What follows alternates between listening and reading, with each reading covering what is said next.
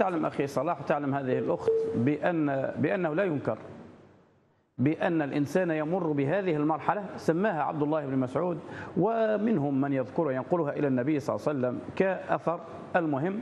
يقول فيه وأن أن الشباب شعبة من الجنون. يعني الإنسان يتصرف في بعض الأحيان درجة. نعم. سبحان الله. يتصرف يعني يعتري الإنسان. تمر عليه مرحلة يصير فيها وكأنه لا واعي له بما يتصرف. لذلك نركز دائما على الأبعاد. الأبعاد آه، خاصة فيما يجترحه الإنسان من أفعال.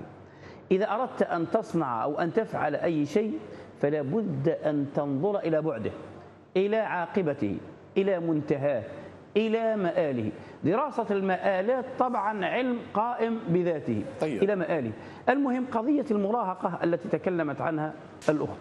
تعتري جميع الناس.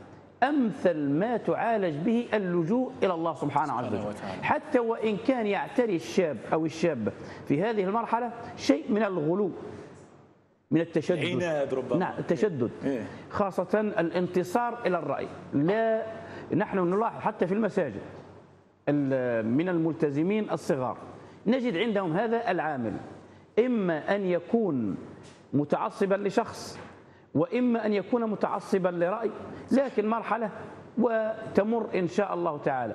قد تبقى قد تعمر قليلا لكنها إن شاء الله تعالى تتجاوز. لو كان يعني طبعا مرحلة المراهقة تبدأ من سن البلوغ في العادة إلى سن العشرين سنة. وإن كان أهل الاختصاص في المجال النفسي أعلم وأدرى بهذه القضايا لكي تطرح عليهم وطبعا تعالج على في هذا في هذا الإطار. لكن حتى أن المسائل أو ال- العلاج الشرعي لهذه القضايا لو كان الإنسان آه، مثلا آه، بنت في سن 19 ل 20 سنة آه، 22 سنة طبعا يعني آه، قلنا بأن أمثل علاج أن يلجأ الإنسان إلى الله سبحانه عز وجل وأن يتقرب إليه بالعبادات وأن تحبب إليه هذه العبادات حتى ولو ترتب عليها تعصبا فإن هذا التعصب تعصب مرحلي ويتجاوزه فترة الإنسان وتروح. يتجاوز الإنسان لو كان في مرحلة زواج أمثل يعني قال العلماء المختصون في التربية أمثل ما تعالج به هذه القضايا أن تناط بهذا المراهق المسؤوليات. تحمله المسؤوليات. فينشغل عما يختلج في نفسه تلك المسؤولية. يخ- يعني حينما يشغل يتعرض يشغل وقته بهذه المسؤوليات ممتاز. أي مسؤولية؟ يراها الإنسان بأن مهمة يكلفه بها إن شاء الله. تعالى. كإجراء تخفيفي لوطأة هذه المرحلة حتى تمر إن شاء الله تعالى شاء الله يا رب. بسلام.